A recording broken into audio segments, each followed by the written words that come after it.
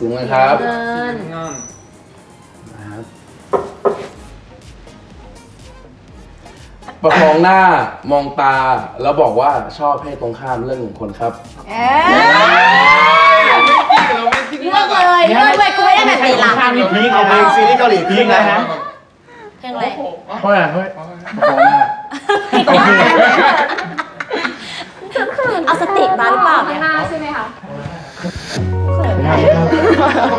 ได้ใช่ไหมเขาให้เกียรติดาดาดาดาดาแล้วก็บอกว่า ชอบแตังโมครับ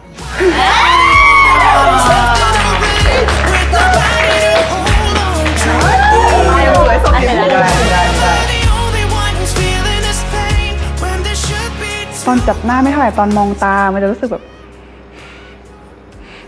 เอาแล้ว spark ไม่ spark spark ไม่ spark ก็รู้สึกดีดีขึ้น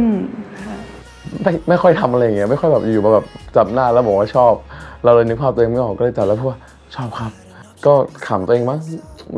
ขนลุกดิไม่มันมันไม่ชินที่จะต้องมาแบบพูดต่อหน้าใครอย่างเงี้ยถ้าเกิดคุยกันเองสองคนอะไรเงี้ยมันมันได้ feel กว่า มันสบายใจกว่าอะไรเงี้ย